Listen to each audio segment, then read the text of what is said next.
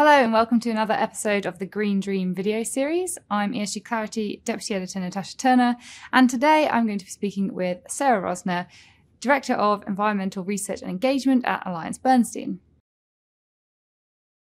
I think the profile of climate change and what that can mean for investors has been raised tremendously since COP26, both within our organizations and among our most important stakeholders, clients, certainly regulators, corporates that we invest in every day, and of course, the countries that we invest in as well.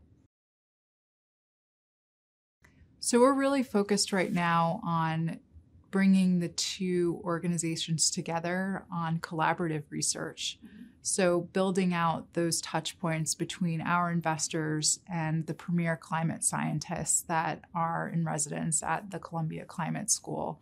We have a number of different interactions underway at the moment, focused on a wide variety of topics from synthetic biology and what that can mean to some of the most pressing environmental issues of our time to things like natural hazards.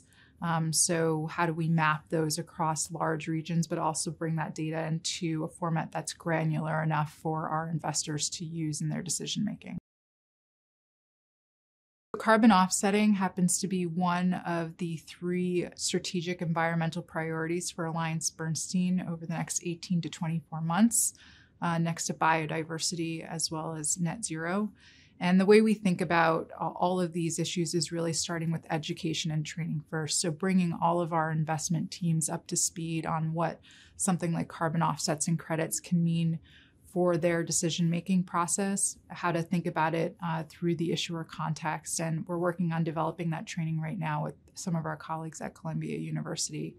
Um, like everything that we do, we we endeavor to kind of bring this through a full spectrum. So developing our investment team's knowledge capital on this, helping them produce thought leadership and guidance and frameworks, and then how do we bring that to our clients on the other end? So that's that's something we're kind of we're in that first phase right now, and something we're looking to further develop as we go along.